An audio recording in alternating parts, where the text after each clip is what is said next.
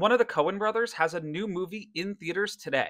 I just saw the queer road trip comedy Drive Away Dolls. So here's the good and the bad, all without spoilers. Based on the trailers, I thought this movie looked like a blast. It was directed by Ethan Coen, off a script he wrote with his wife, film editor Tricia Cooke. It stars Margaret Qualley, Geraldine Viswanathan, Beanie Feldstein, Bill Camp, and Colman Domingo, along with three major celebrity cameos that I'm not going to spoil here. Unfortunately, it was more of a mixed bag than I was hoping for. First off, the movie is very funny and really committed to being over the top. When it leaned into its madcap adventure and unabashedly horny humor, it worked for me. I laughed at many of the very dumb jokes but your mileage may vary on that based on your tastes. Margaret Qualley is doing this aggressively efforted Texas accent that, when paired with Coen and Cooke's patter dialogue, is a lot of fun. But it's just on the border of being too much, and sometimes veers into cartoony territory. Beanie Feldstein is absolutely hilarious in this movie and should be doing more stuff like this. Seriously, put her in every comedy. On the script level, I found there to be a lot of interesting tension and exploration of how platonic relationships can evolve. That's not something we see in movies